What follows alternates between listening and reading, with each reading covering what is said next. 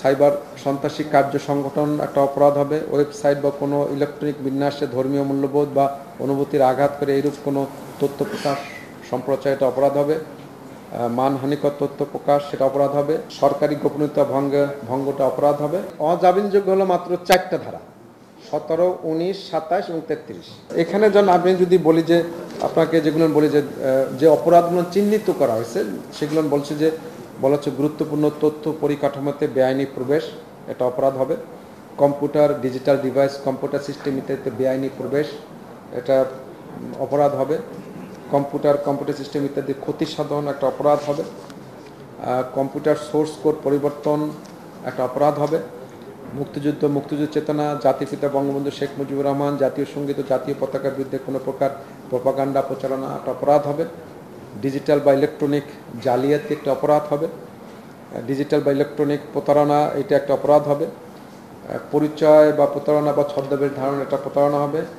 আক্রমণাত্মক মিথ্যা বা ভিত্তি প্রদর্শন, তথ্য উপকরণ, প্রকরণ ইত্যাদি এগুলো প্রতারণা হবে। অনুমতি ব্যতীত পরিচিত, পরিচিতি তথ্য সংগ্রহ, ব্যবহার, এটা অপরাধ হবে।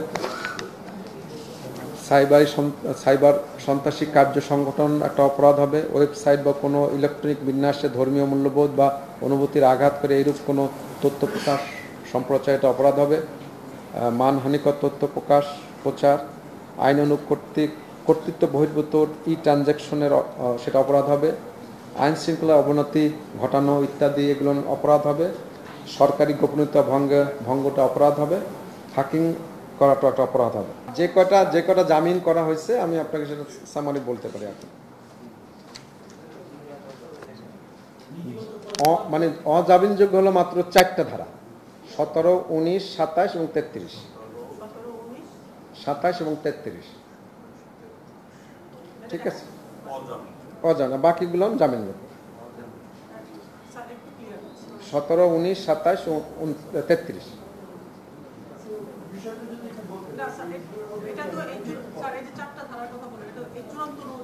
হ্যাঁ হ্যাঁ হ্যাঁ। কিন্তু 21 ধারা নীতিগত অনুমোদনে অজামিনযোগ্য ছিল, সেটা আজকে- আচ্ছা সেটা তাহলে এটা এখানে এখানে এটা জামিনযোগ্য হয়েছে হ্যাঁ, একুশ ধারা?